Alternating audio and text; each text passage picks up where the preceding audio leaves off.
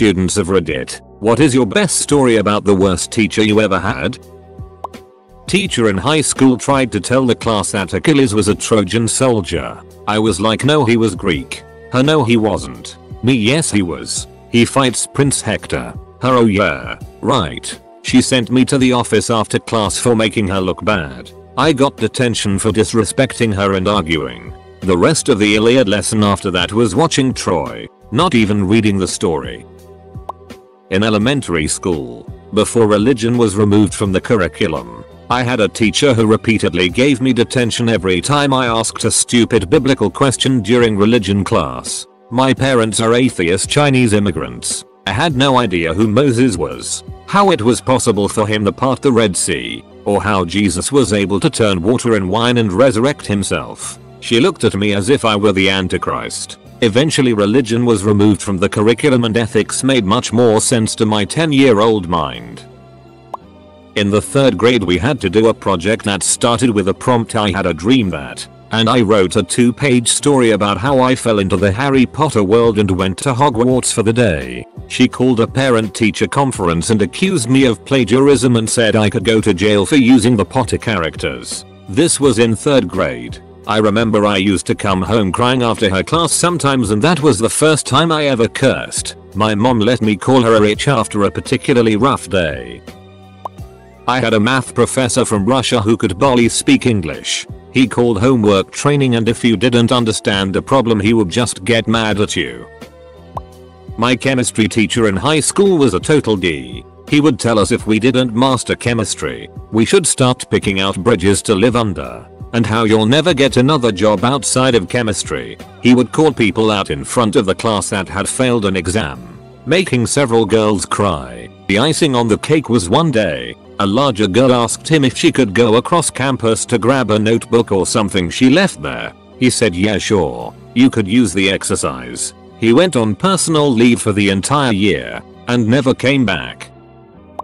Not a terrible teacher, but our class conditioned our math teacher, differential equations, to teach on the left side of the room. When he would walk to use the right side of the whiteboard, the entire class would look uninterested and bored. Eventually we trained him to use only one side. He finally caught on at the end of the semester when he walked to the right side of the board to get a marker and saw everyone change their posture. I had a teacher in high school who had one of those think as yourself and only yourself you special snowflake mentalities. Which is fine. To a certain extent. But she took it way overboard. She also taught science. A subject that didn't often support her outlook. For instance, in an effort to get us to think outside the box, she turned the poster of the periodic table upside down. Which was great except that I couldn't read the ducking periodic table. We turn in reflections about our labs. How did mixing these solutions make us feel? Then we'd have to connect the experiment to a current event. She's an English teacher now and much happier. I had an AP chemistry teacher who was teaching that level of course for the first time. He was horrible. He had the other AP chemistry teacher even come in and teach us a few lessons he couldn't explain properly. He would take off points on my exams because I did the mathematics in a different way than him. So he said he couldn't be sure I wasn't cheating, since all my answers were correct, because he didn't understand my work. I eventually just started mailing it in for the rest of the year when I had gotten accepted and enrolled in undergraduate. He one day said to me, you are going to fail out of college after your first semester. April of my senior year of college I sent him a copy of the letter I had received from a law school that offered me a full scholarship. Her. The Crusades happened in the 5th 6th century BC. Me. BC stands for before Christ. Her. Yes. Me. The Crusaders were Christian. Her. Yeah. 5th 6th century BC. I just stopped arguing because it was useless. Growing up, my family was pretty low income. My dad was a bus driver, and my mom worked as a social worker for HHS. My dad's work hours were late night and my mom's early morning, so they hardly got to see each other. We also could never go on vacations because of money and schedule problems. Finally one day, after years of saving, we bought tickets to Disney World, my first official vacation. I still remember to this day how this teacher, third grade, yelled at me that she didn't know how I could have a good time with all the homework she was going to give me. Who goes on vacation during the school year? She was saying. She wound up giving me multiple assignments, including a daily 2-page diary and daily homework that was way more than what they were even doing in class. My parents were really pissed. They wound up having to get the principal involved. In the end, I still had to do my daily diary. However all of the other homework was not assigned. MRS. Rodriguez, if you still exist, I hope you have feasted on many a bag of D's. Had an engineering teacher who never graded assignments. Pretty much glanced at them and gave a grade based off how neat it looked, not off creativity. Then every subsequent assignment pretty much got the same grade. My magic number was 88 stroke 100. Was in 8th grade in middle school. I had just passed a test permitting me to skip up to a 9th grade level math class. This required me to move from 6th period math to 5th period math, thus switching from 5th period science to 6th period science. Went to tell my science teacher and she freaked out and yelled in my face. You can't do that because they didn't talk to me. Went straight to the counselor. He approved of the move. My dad had a nice talk with her. When I was in the 12th grade I had an English teacher who was horribly picky with essays. Everything else was fine. But essays were very hard to get good marks on with him. I spent 15 hours writing a simple 3 page essay and finished it a few days before the due date so I could have him check it over. He took it home and said he spent about 15 minutes reading it and only checked off a few grammatical. He said the essay was fantastic. But if I fixed those I would get a very high mark. I did. I failed the essay. The same thing happened for the whole year for every essay so I had to take the course over again in summer school. My math teacher said okay after every 2 seconds. Someone in my class did a tally of how many times she said okay. It was over 224 in one class. I had a college professor for physiology that was an arrogant, self-righteous jerk. As finals were coming up, he told us that he wouldn't accept any excuses for being late to the final and that we would fail it if we weren't there at 8am. He even told us that it would be a good idea to put the number of a taxi company in our phones in case any of us had car trouble on the morning of the final. So the day of the final, we are all there early, and he walks in 45 minutes late because his wife took his cell phone and his alarm didn't go off.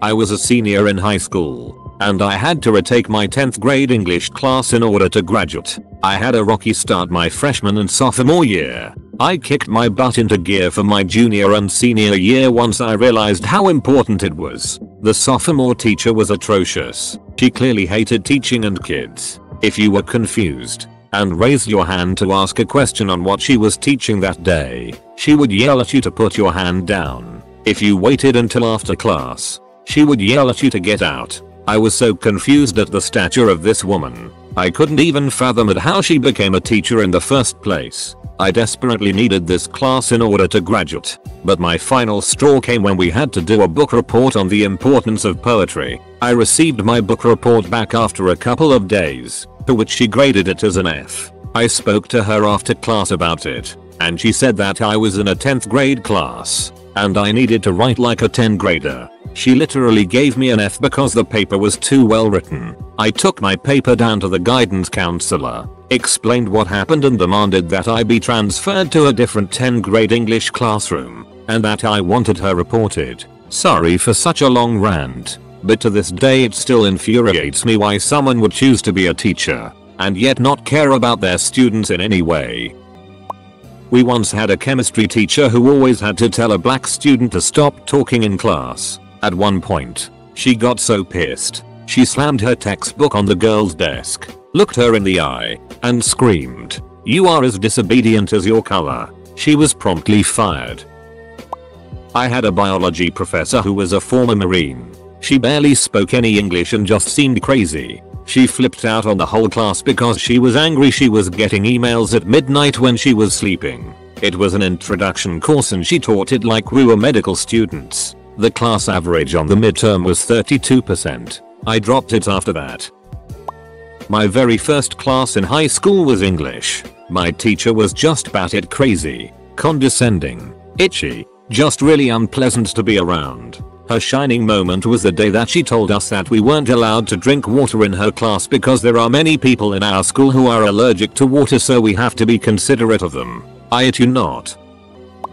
First year stats class. I had a prof who was in his last year before retirement and extremely senile when it came to his lectures. He spent the majority of them talking about fish and fishing, not statistics. Then on his exams, he made the answer key, where all of the correct answers were colored red, and proceeded to print it out as the exam on a black and white printer. Obviously you could see which answers were correct, without doing the work, and as a result everyone in the class ended up with 100%. Sounds awesome? No. It was scaled so we all got a B and learned absolutely nothing. TL. DR. Statistics prof likes fish and gives away all the answers. Everyone got scaled to a B. I had a geography teacher who was Hawaiian. I live in Hawaii and we learned nothing about geography only Hawaiian culture. Before we could enter the class we would have to do a Hawaiian chant. This was every day we had this class. When it was my turn to chant I pronounced all the words correctly but she said I had a mainland accent. I'm originally from California, so I couldn't do the chat right. She made me read the chant 7 times and I was the only one who couldn't do it. Everyone laughed at me and I cried at the door. That was the only class I ever got a F in. Had a college prof whose textbook consisted of a binder filled with PowerPoints, photocopies of two old textbooks, and other random crap I was doing a homework assignment one night. One question told me to refer to a chart on page X of the book. The book ends 20 pages before page X. It also references page Y, which turned out to be a PowerPoint that had nothing to do with the assignment. I emailed that prof that night. This was a Thursday. Assignment was due Monday. Asking where the chart was and explaining that the directions were wrong. An hour before class on Monday. No response. So I do the best I can from my notes and turn it in. 3 hours after the class is over, I get a reply email from prof. He calls me an idiot, saying I should have known it anyway, and also saying that he knew the assignment referenced pages X and Y. Ended up getting those questions wrong, along with a good majority of the class. There's always my math professor who would say it's not my job to teach you, it's your job to teach yourselves. He'd constantly complain about the textbook he had us buy, that he chose to use. It was absolutely a terrible textbook. But it was far better than his lectures which consisted of him going on about bug procreation, the Golden Gate Bridge, and starfish migration patterns in the Atlantic. He'd get angry whenever anyone asked him a question, and I don't think throughout the entire math class he went through a single full problem. My history teacher was an idiot. And I mean, an idiot. She took 10 points off a 5 point question. Why are there so many salt plains in West Africa? Because, in her words, a very smart student like you should be more specific. It's Northwest Africa, not just West Africa. What the duck? Edit. I didn't Ray read before posting. My apologies for the rampant typos.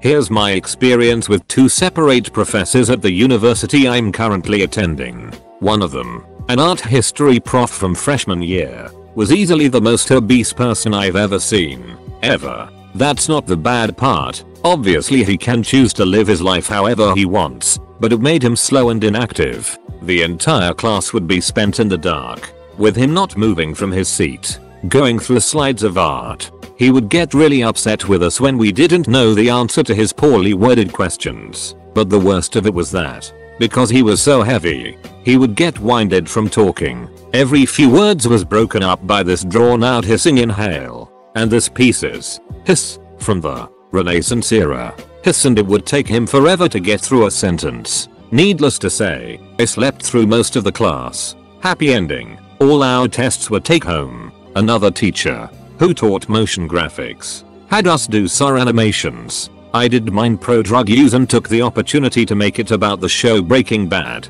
It was all about how people should smoke meth to save Walter White. Yada yada. After I was done, he asked me if I'd ever smoked meth. I told him no, and he said good, don't. It feels like taking a brick to the face. Like smoking a permanent marker.